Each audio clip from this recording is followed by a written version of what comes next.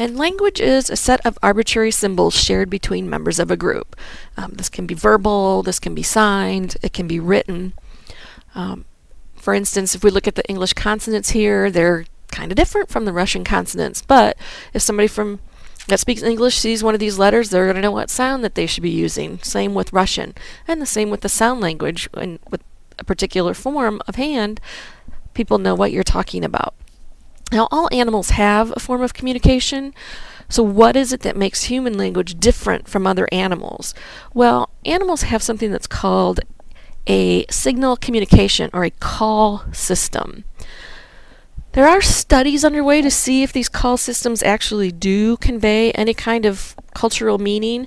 So, there are some physical anthropologists, some primatologists studying chimpanzees, and they're studying what are called the pant-hoots, the calls that chimpanzees do to one another to see if there actually is some meaning being conveyed. So it'll be interesting over the next few years or so to see what everybody comes up with. But what makes human language unique is this thing called semantic universality, which means we have the ability to convey information that's relevant to all aspects of our experience and thought, and we have productivity, which is an infinite range of expressions that others can understand using a finite set of rules. So those are the two things that really set human language off or apart, excuse me, from signal communication.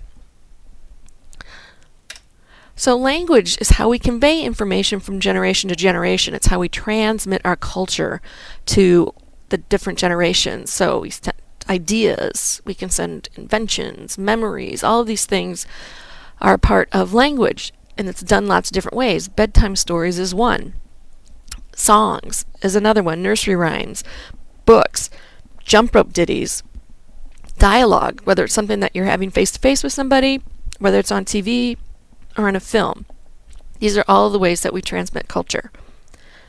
Now, anthropologists studying language, and they're called linguistic anthropologists, have identified some kind of interesting things, at least I think they're interesting. And one is that all societies have language.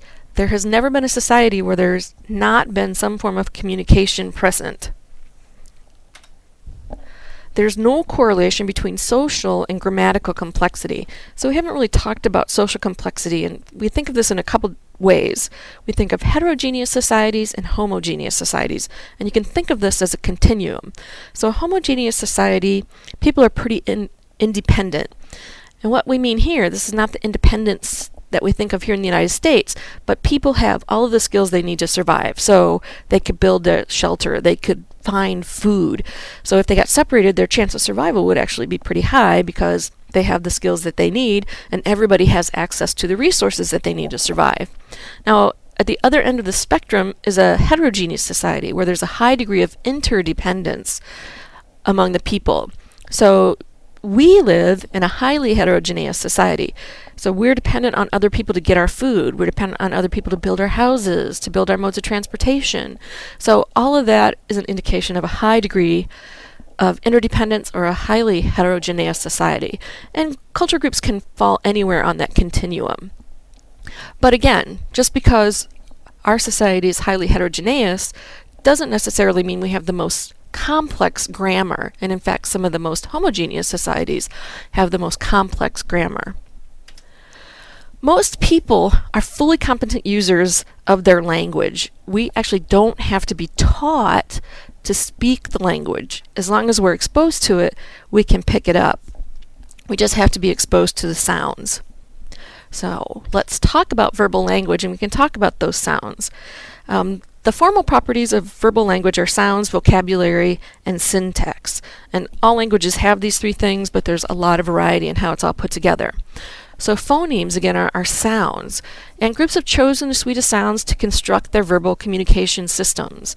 And, you know, one letter can actually represent a lot of different sounds in a language's written form. Linguists have developed something called a phonetic alphabet.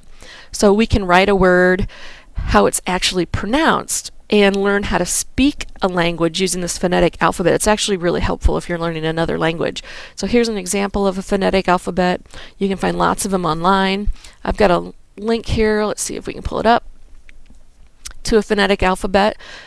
So if you look at the written text for this particular lecture, this URL or web address is in there because if you click on any of these, and I don't know if you'll be able to hear this, If not, you can go to this site and, and check it out yourself, but it has all the different pronunciations here. So it's a pretty interesting little page. So those are our phonemes. Syntax. This is a study of how words are arranged into phrases and sentences. This is the grammar. So groups put sentences together differently. So we can put adjectives before nouns or they could come after nouns again, it really just depends on what the people agree to over time as to how things are going to go together. And then we have morphemes, and the morpheme is the smallest unit of meaning in a language.